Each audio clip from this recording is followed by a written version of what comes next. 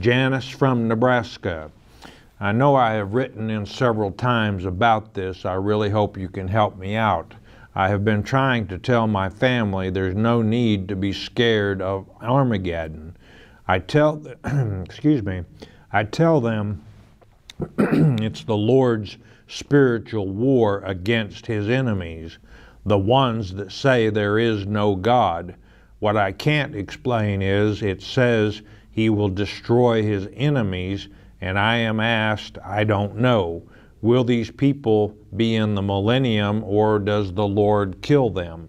It's kind of contradicting to me, of me, to say the millennium is for teaching obedience to God and then can't explain what happens to those who are the Lord's enemies. Some people never even had a chance to learn. Now, uh, we're talking uh, spiritual death.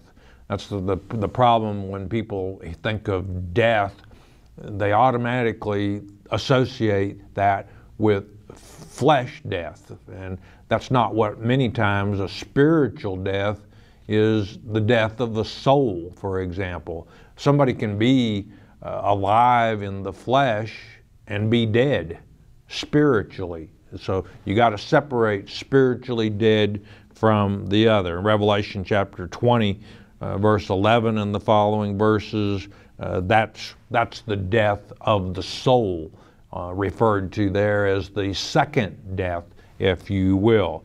Until the white throne judgment, no one is going to be dead, including Satan himself. Uh,